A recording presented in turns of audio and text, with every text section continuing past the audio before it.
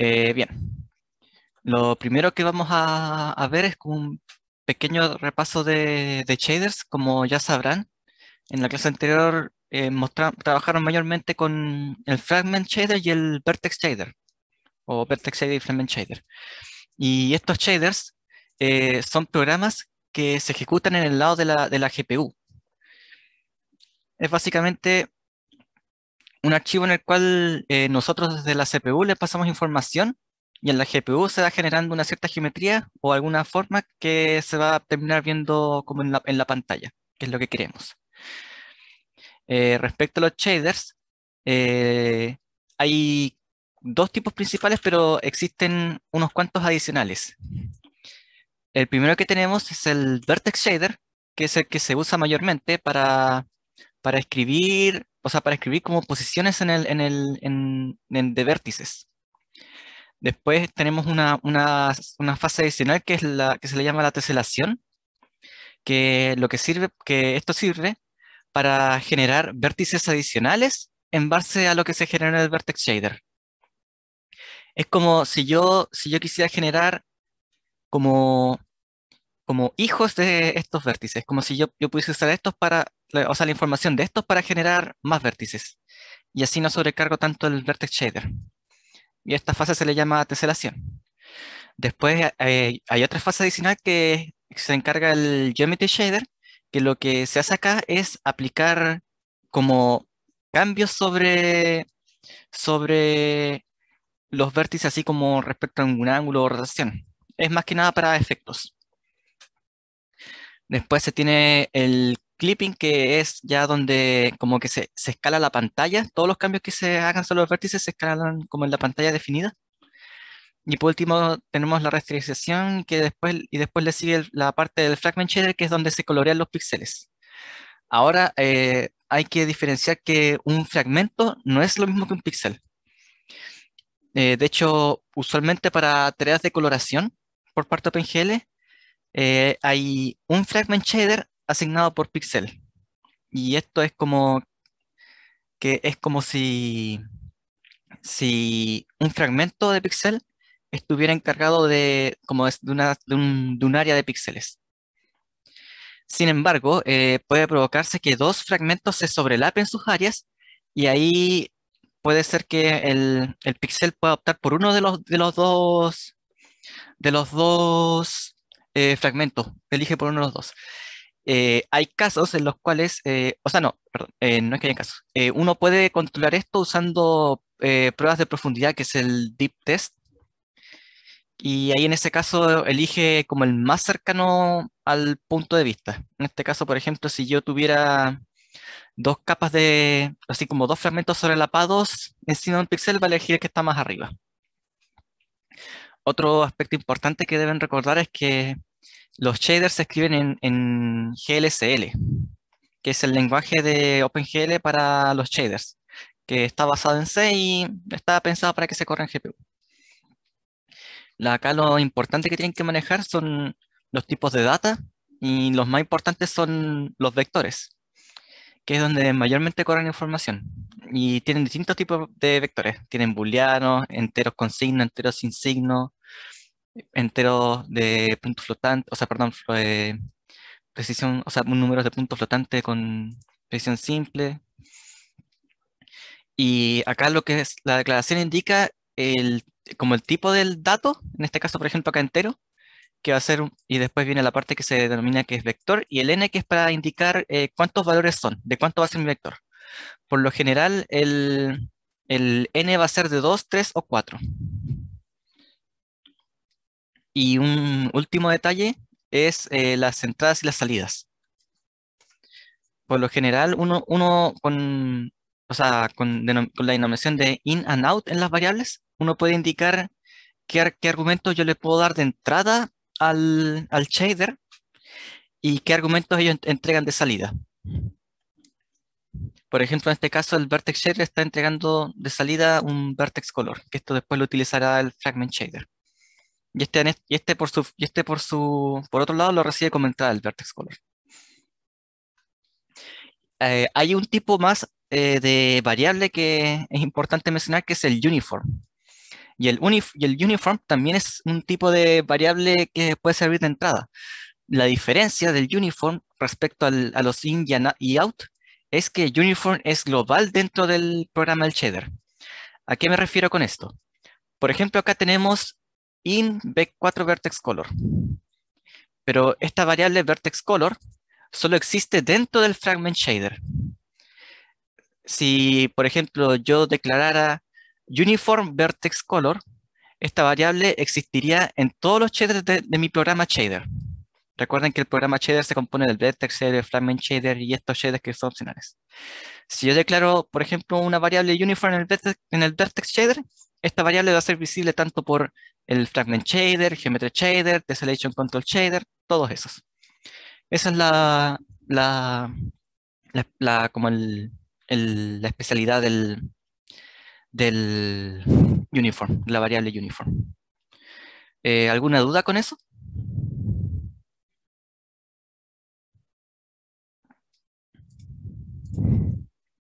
Ya. Sí, igual me contaron que habían estado entendiendo mejor el asunto de Cheddar respecto a BAO, BBO y em, bien. Ahora vamos a pasar a la tarea. Entonces, tienen la generación de fractales. Y en esto esta tarea es individual. Se les pide un código fuente con su respectivo makefile. O sea que este, este código y este código tienen que estar separados. Pueden estar separados, no tienen que estar juntos en un mismo código. Así que no se, no se como asusten, no se creen la cabeza intentando dejar las dos cosas juntas. Pueden hacerlo si quieren, pero no es, no es requisito. Y por último, una explicación de lo que, lo que se considera como qué es lo que se ve, por qué se genera esto, qué es lo que ustedes ven. Bien, em, primero tenemos acá el fractal de Julia. Pero antes de hablar del fractal de Julia, vamos a hablar, del fractal de Mandelbrot. Y el fractal del Mandelbrot es una serie de números complejos que sigue, que sigue las reglas de Mandelbrot para analizar la divergencia de estos números respecto a las reglas del set. el set de Mandelbrot sigue esta regla. Esta, es la función que, rige el fractal de Mandelbrot.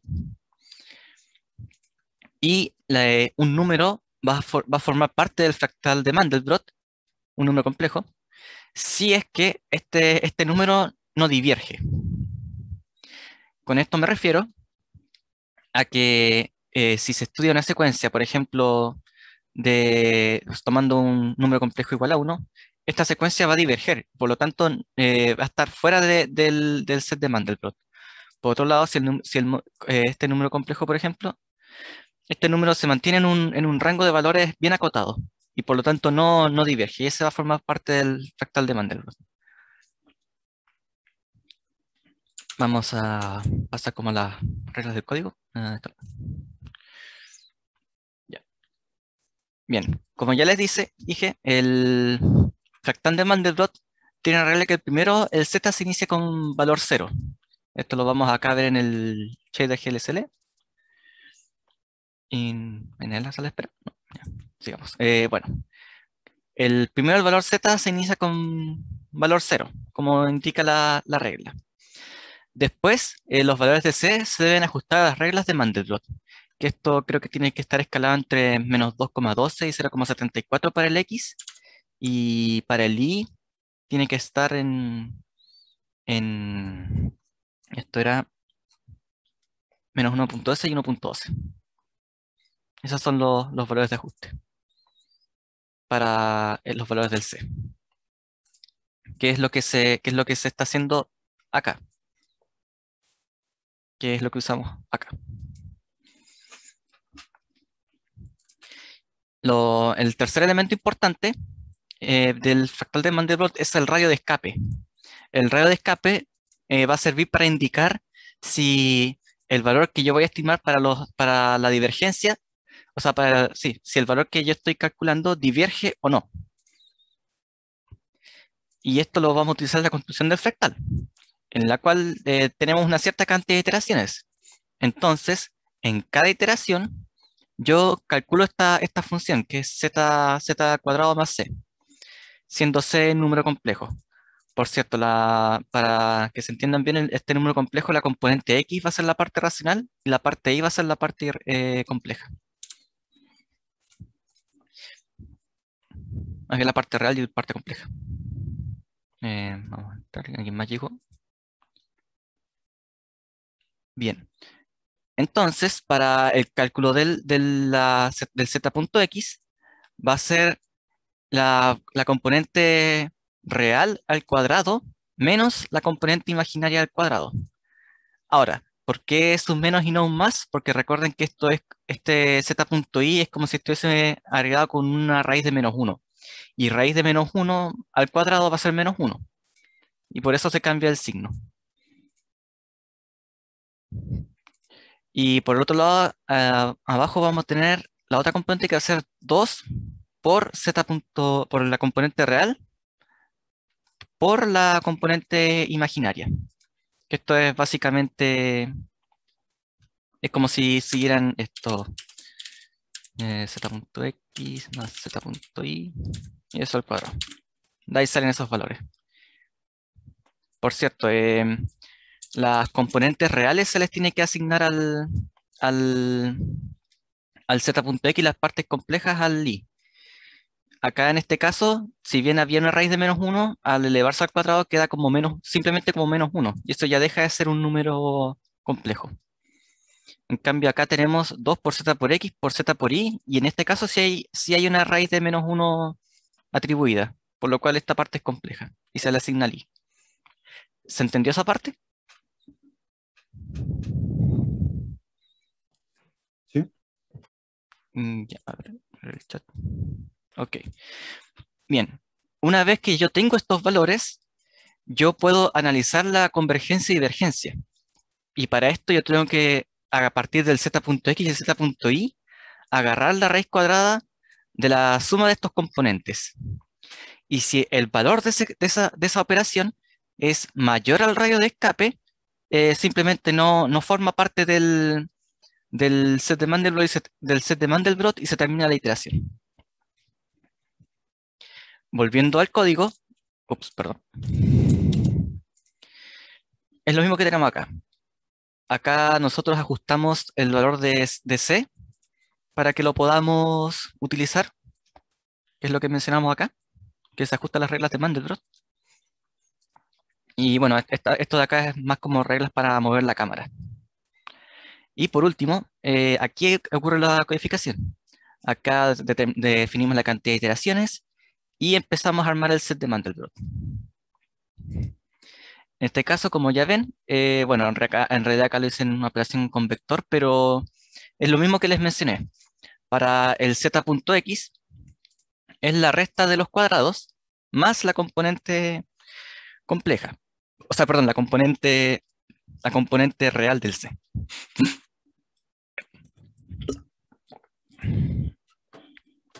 que es lo mismo acá. z.x por z.x menos z.y por z.y.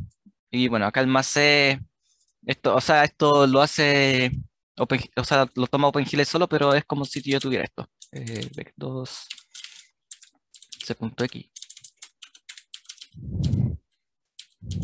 Es como si tuviera eso.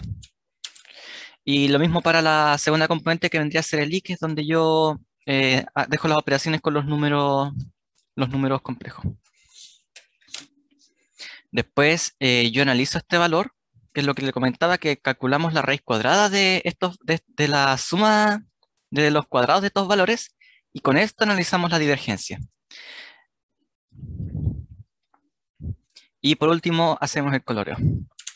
Y el resultado, sí, acá está.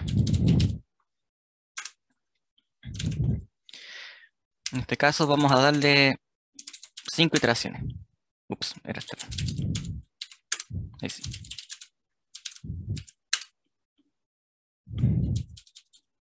Ahí recién como que se ve algo muy desordenado. O sea, en realidad ni siquiera es como la forma de fractal, pero este se va refinando a medida que se le otorgan más iteraciones. Ejemplo, con 10 ya se empieza a ver más completo. Si lo trabajamos con, con 100, y ahí tenemos una forma más apreciable. Y si, si se aprecian bien, se aprecian bien, esa forma grande que se ve del fractal se va replicando en las partes más chicas. Por ejemplo, ahí. Ahí que se ve como medio como diamante 2D, que también replica la forma mayor. También acá. Que si se ve en este, esta región del sur también replica como la forma grande.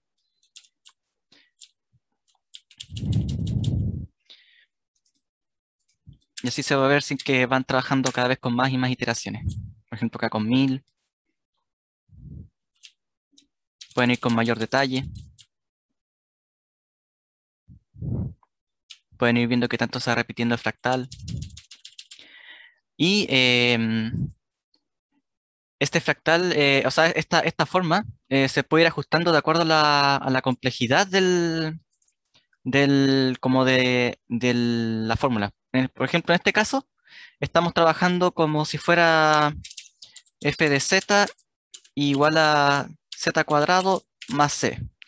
Pero si yo, por ejemplo, quisiera trabajarlo con z al cubo, esto sería z por z por z.x menos, esto tendría que ser z por z ahí, menos y 3 por z.x por z.y.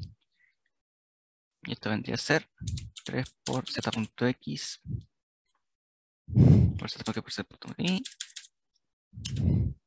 Esto vendría a ser menos z.i por z.i por z.i. Ah, eh, por cierto, eh, nota aparte, si ustedes modifican el programa del shader, eh, no hace falta que compilen el código entero, ya que el, el shader es como, es como algo aparte.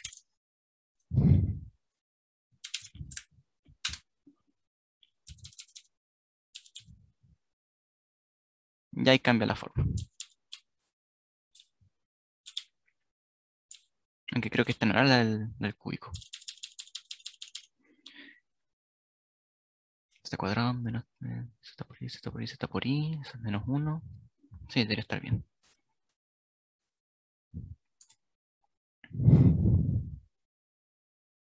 Eh, ¿Alguna duda con el, con el fractal de Mandelbrot?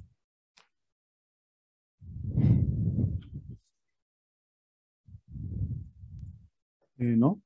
Ya. Vamos a volver esto como estaba antes. Muy bien. Y la tarea que se les pide es construir un fractal de Julia.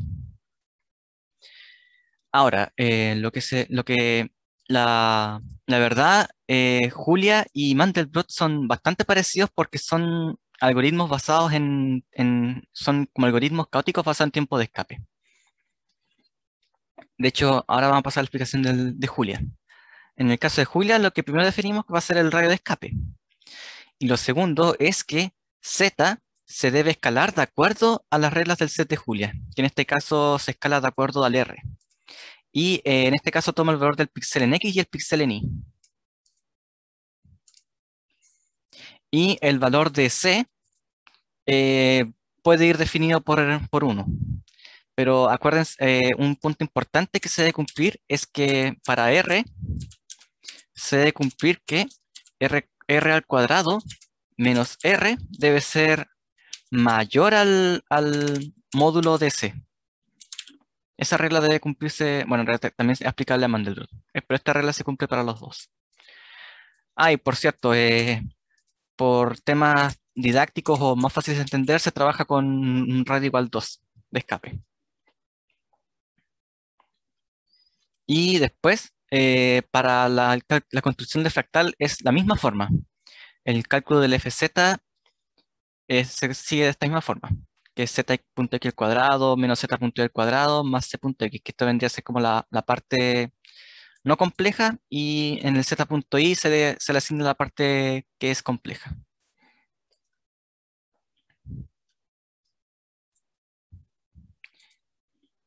Por último, em, algo que les quiero mencionar acá es que esta fórmula que ven acá se puede utilizar para construir un fractal de, o sea, un set de Julia, pero en cualquier grado de complejidad. Ahora, en la probé con Mandelbrot y por alguna razón no me funcionó, pero es básicamente aquí yo defino el grado de la, de la ecuación. O sea, perdón, sí, acá con esto defino como el grado de complejidad y esto va a construir la figura. Por último, eh, al igual que en Mandelbrot, a partir de del cálculo de z.x y z.y, yo calculo la convergencia-divergencia que va a tener mi fractal, o sea, los puntos estudiados. Y si el valor se escapa del radio de escape, eh, se termina y queda y se finaliza como el análisis de ese píxel. Y la, bueno, la visualización, la visualización que querían tener debería ser algo así en el caso de la tarea que el profe les pidió, que es con ese valor fijo para el número complejo.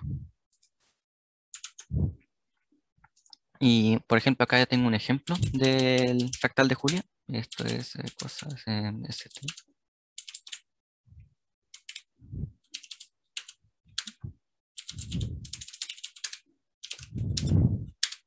Ups. Esto es Ahí tienen un- una visualización de, del set de Julia.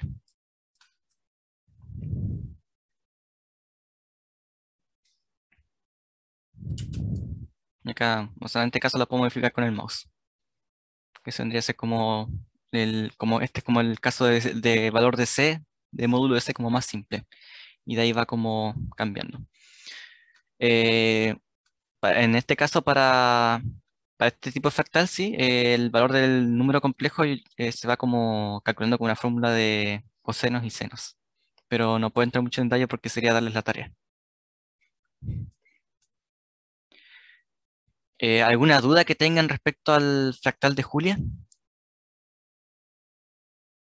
Antes de seguir.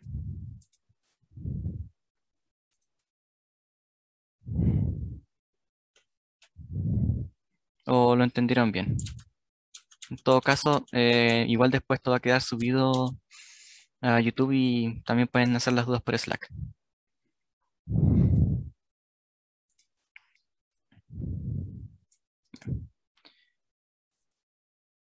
Ok. em, bien. Si no hay dudas con el, con el fractal de Julia, con, el, con la, con la parte del set de Julia, eh, vamos a pasar a al otro ejercicio que es Sierpinski. En este caso, primero voy a partir explicando el triángulo de Sierpinski. Entonces, a ver, acá. em.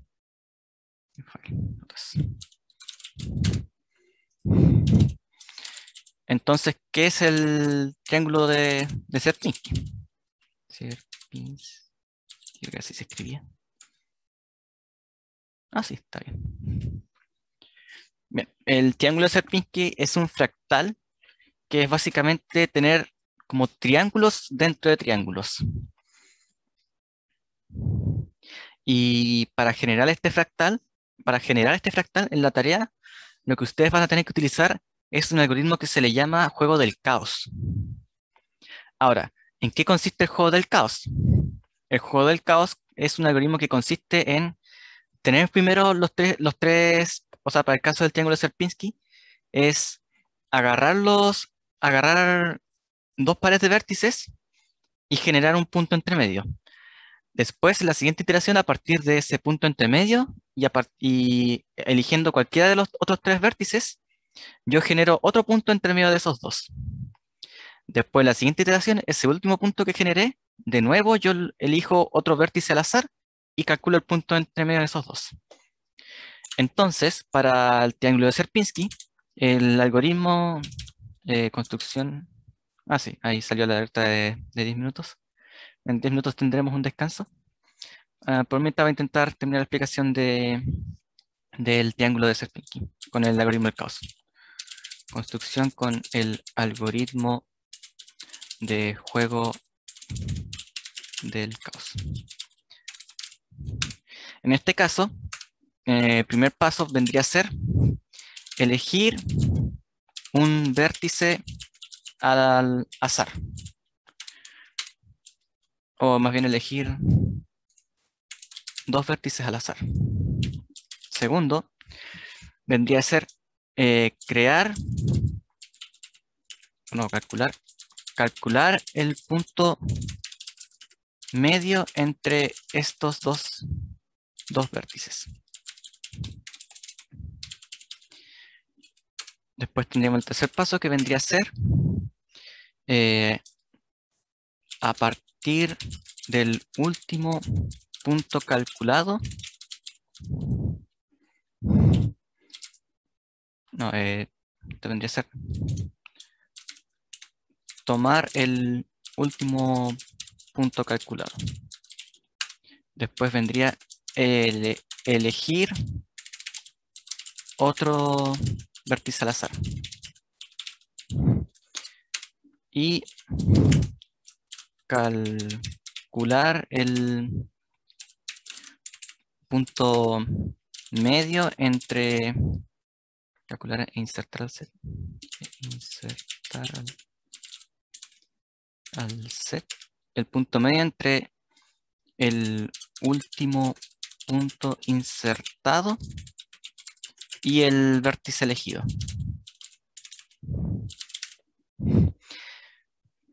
Y por último, volver a 3. Esto vendría a ser como la construcción del triángulo de Sierpinski para, usando el juego del caos. Em, ¿Alguna consulta?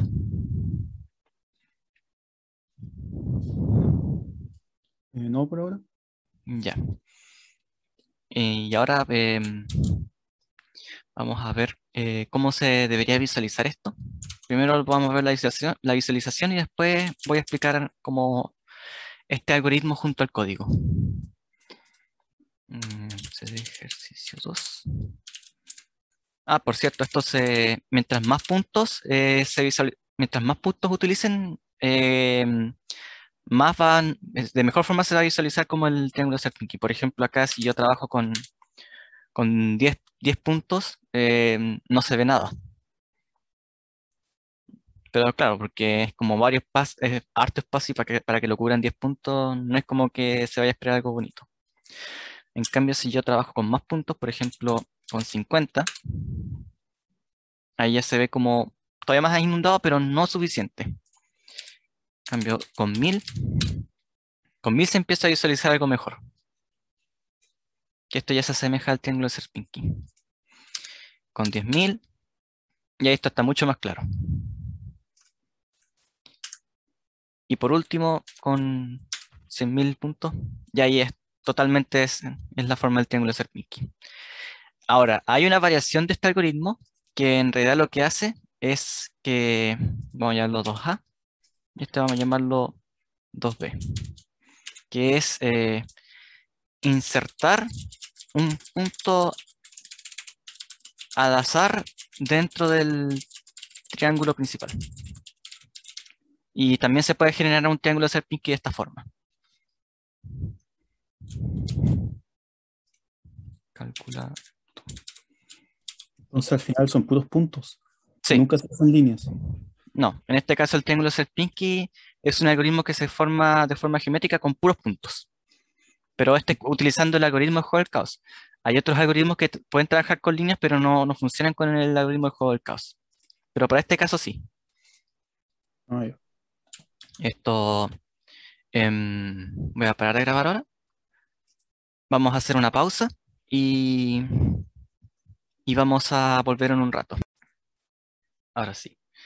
Bueno, como ya les mencioné, eh, el, algoritmo reciente es para generar el triángulo de Sierpinski, que es el juego del caos. Sin embargo, el juego del caos también se puede modificar para generar eh, lo que se conoce como alfombra de Sierpinski. Eh, vamos a ingresar. Un momentito. Ahí sí. Bueno, el algoritmo, como, les mencionaba, em, el triángulo, o sea, el algoritmo de juego del caos se puede modificar para generar el, lo que es la, carpeta de Serpinki, que es lo que se les pide en la tarea. Sin embargo, que hay que tener unas cuantas consideraciones, que las vamos a explicar ahora en detalle. Que es, esto vendría a ser para la alfombra de Sierpinski. Ahora, un dato importante que hay que, destacar antes de seguir es que para el triángulo Sierpinski yo empiezo con tres vértices de, de triángulo. Sin embargo, la forma de Sierpinski yo comienzo con ocho vértices de cuadrado. En este caso, como se podrán imaginar, eh, en este caso va a ser 1, 2 y 3. Esas vendrían a ser como los vértices.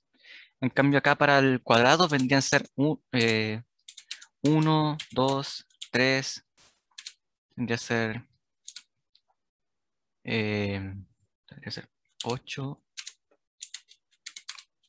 7, 6, 5 y acá 4. Esos vendrían a ser como los, vértices iniciales. Y a partir de esto, yo procedo de la misma forma. Eh, de hecho, es básicamente lo mismo.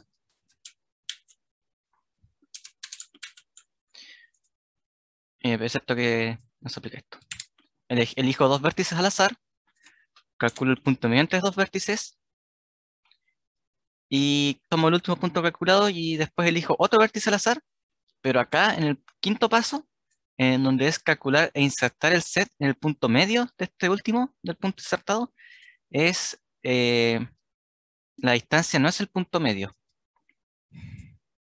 es a insertar el set a un tercio de la, de la, de la distancia entre el último punto insertado y el vértice elegido. Ese es el detalle que tienen que tomar. De hecho, em, si logran hacer bien... Ah, esto no, espera. 4 está bien. Eh, ejercicio 2. Está bien. Deberían tener algo así. Eso es lo que se genera. Esto vendría a ser la, la, alfombra de, de Serpinski. Eh, ¿Alguna duda con, el, con, el, eh, con la aplicación del juego del caos para generar el, la alfombra Serpinski?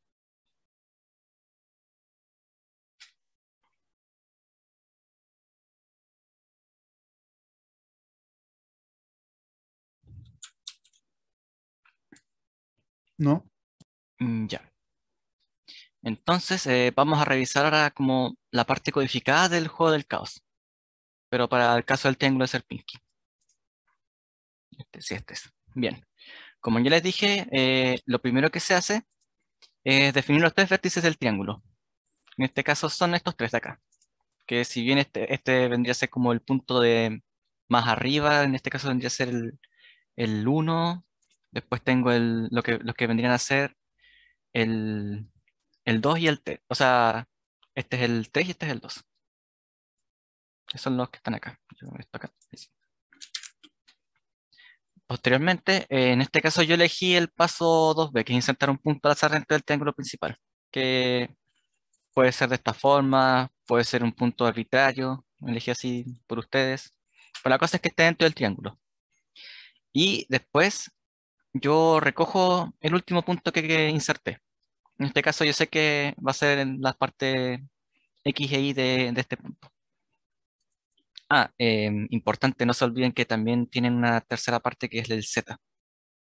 La tercera coordenada, pero siempre va a ser para estos ejercicios va a ser 0, 0. Bien, como les decía, acá es donde yo recojo el último punto que inserté, que es tomar el último punto calculado, y elijo otro vértice al azar. En este caso yo lo llamé pivot y elijo uno de los tres vértices principales del, comienzo que definí. Después yo calculo la distancia media entre el, punto, entre el último punto que inserté y el, el, vértice que elegí. En este caso es simplemente la suma de los valores de las coordenadas dividido en dos. Y después de eso, eh, vuelvo a 3, que es tomar el último punto calculado, que es lo que estoy haciendo acá. Tembeck y Tempi lo reemplazo por, por los valores que inserté recién. Y esto se repite para todos los puntos. Y estos puntos son los que al, al final ustedes observan que, se, que es lo que se genera en el triángulo de Sierpinski. Ahora, ustedes tienen que hacer las modificaciones correspondientes sobre este método para poder, ah, para poder construir la alfombra de Sierpinski, en base a lo que, les dije acá. ¿Alguna consulta con eso? ¿O se entendió bien? Ya. Eh, bueno, una, lo voy a volver a mencionar, que no lo había mencionado antes, eh, que para el caso del triángulo Sierpinski, ustedes tienen que trabajar de forma geométrica. Esto vendría a hacer que ustedes calculen como los puntos, o con un algoritmo ustedes calculen los puntos desde el lado de la CPU que van a utilizar. Por otro lado, el, el primer ejercicio que vendría a ser el set de Julia, lo que ustedes tienen que hacer es trabajar de forma rasterizada. Con esto me refiero a que el cálculo se va a hacer en el shader. El cálculo de los puntos se va a hacer en el shader.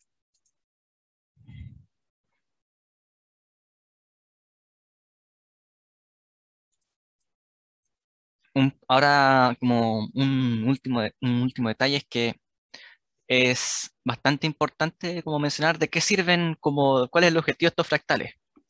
Bueno, tristemente el fractal de Mandelbrot y el fractal de Julia en aplicaciones, eh, bueno, no son muy útiles, ni siquiera para decoración. Pero sirven bastante para comprender bien cómo sirven los, cómo trabajan los fractales. Y hay muchos fractales que sí tienen aplicación.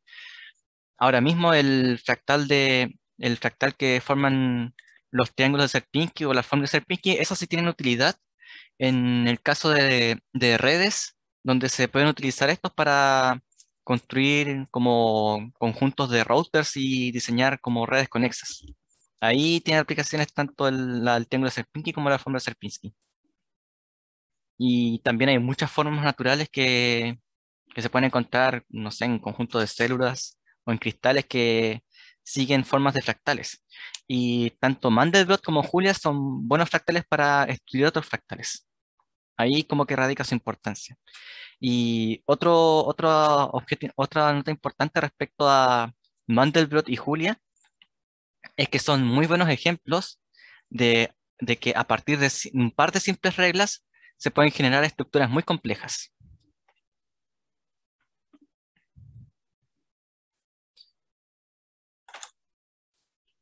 ¿Alguna consulta que tenga alguno de ustedes? No sé, Sebastián, que llegaste un poco más tarde. No, por ahora no. Ya. Bueno, entonces, eh, ya resumiendo la ayudantía, vimos un poquito de repaso rápido de, de shaders. Tienen el vertex shader y el fragment shader por general, pero también podemos utilizar los shaders de, de selección y los de geometría para aplicar cambios. Eh, vimos lo que son las variables, las variables de entrada y salida, en este caso los in y out, que son como exclusivos dentro de un shader, pero después están los un- las variables uniform, que se pueden compartir entre varios shaders dentro de un programa shader. Por último, eh, vimos los tipos de datos que se usan, que son los vectores, y eso fue respecto a shaders. Después tenemos la tarea, como ya les dije, el fractal de Julia, que para esto hicimos el ejemplo de Mandelbrot, que cumple estas reglas y el ejercicio, este, estas son, así es como debe trabajarse el shader para el fractal de Mandelbrot. Y aquí les comenté las, las- las modificaciones que se deben hacer respecto para, al respecto para obtener el, el fractal de Julia. Y este es como el cálculo de, del fractal de Julia con varios grados, pero no, no se los van a pedir. De hecho, eh, la tarea se especifica que es eh, al cuadrado, así que pueden trabajar perfectamente con esta forma. Y bueno, por último eh, vimos eh, triángulo de Sierpinski y alfombra de Sierpinski. Vimos el código de triángulo de Sierpinski para, para que se vayan orientando acerca de cómo deben, deben modificar esto para construir la alfombra de Sierpinski.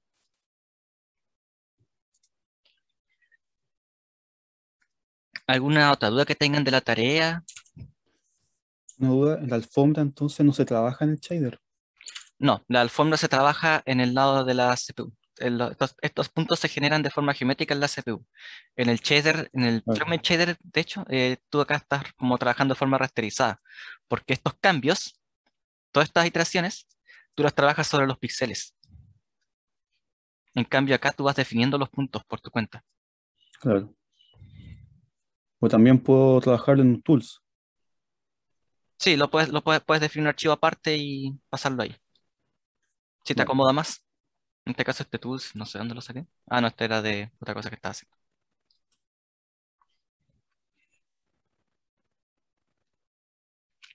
Em, bueno, esta tarea la tienen que entregar, creo que tienen nueve días para entregarla, Sí, el otro viernes. el otro viernes. Y bueno, cualquier consulta yo voy a estar atento al Slack, cualquier duda que tengan. Em, en una de esas les subo estos códigos para que tengan de referencia. Y bueno, la ayudantía va a quedar grabada y va a quedar subida en el canal de YouTube. Em, bueno, si no hay más consultas, em, pueden retirarse nomás. Tengan- Gracias. que tengan felices fiestas. Igualmente. Gracias. Chao. Gracias, igual tú.